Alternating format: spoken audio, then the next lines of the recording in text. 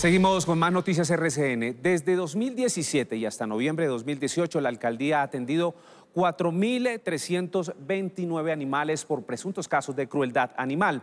También registra 1.097 animales atendidos por urgencias veterinarias. El 50% de estos casos son por heridas de carros y motos que los atropellan. Y otro dato, en lo que va del año, aproximadamente 1.100 animales han sido adoptados luego de ser rescatados del maltrato de sus anteriores dueños. Aquí está la historia de Max, un cachorro que fue víctima de un brutal ataque luego de salvar a su dueño de un robo.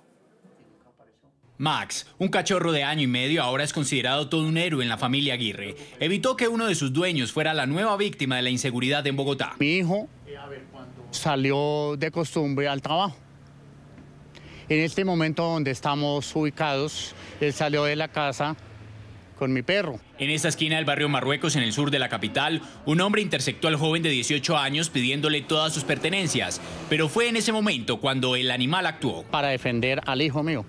Y el bandido lo que hizo fue lanzarle la... Lanzarle una puñalada y se la pegó en el cuello. La herida causada con un cuchillo dejó al perro agonizando por varios minutos. Le colocaron externamente 16 puntos, internamente sí varios puntos porque eh, le dañaron varios tejidos. Germán, un hombre invidente, señala a Max como su guía y no deja de sentir impotencia por lo que le hicieron a su mascota. Para mí es un animal, una mascota muy importante. Eh, porque pues él es el que me guía. La familia de ese héroe canino pide a las autoridades ayuda para dar con el paradero del agresor.